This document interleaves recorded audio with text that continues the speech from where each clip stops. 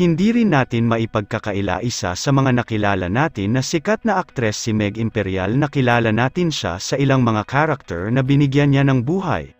Katunayan niyan lumabas si Meg Imperial sa iba't ibang istasyon gaya ng Kapuso at Kapamilya Network na ngayong kasalukuyang nasa Net25 bukod pa rito under rin siya ng Viva Artist Agency kaya naman sa isang video na upload ni Meg Imperial sa kanyang TikTok account sinagot niya ang isang netizen na nagtanong sa kanya kung willing ba daw siya gumawa ng proyekto under ng Viva Max kung mayroon na ito noon. Agad naman sinagot ito ni Meg Imperial narito ang buong video panoorin natin. Mahirap sagutin yung tanong mo, pero I'll give you a scenario.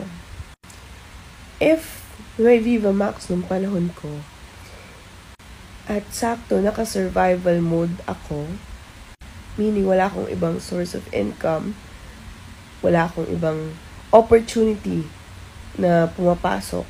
Because that's how I started eh, from scratch talaga. And wala pang masyadong traction sa social media, not everything na inilalabas na movie is recorded or viral or whatever, then maybe wala akong choice. But, I would say, I will regret it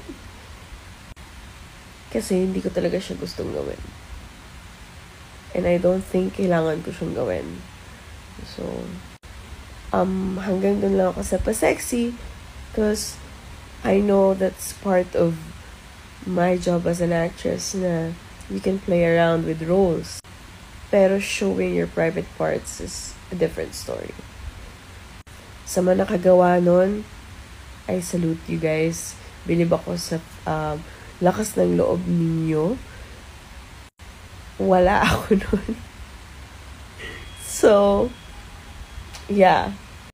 Oh no, don't get me wrong ha. Maraming may potential na nag-Viva Max.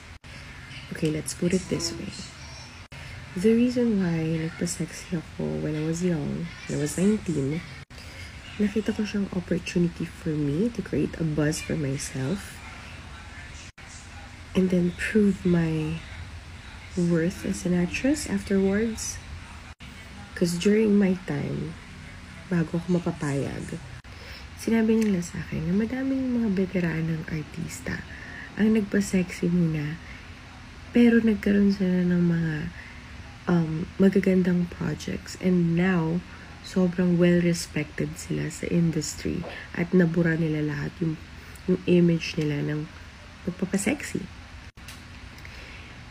So, there's no right or wrong decision pagdating sa bagay na yan kasi iba-iba naman tayo ng life and how we navigate our lives, diba? So, it's their decision and they take full responsibility uh, and same with me. So, yeah.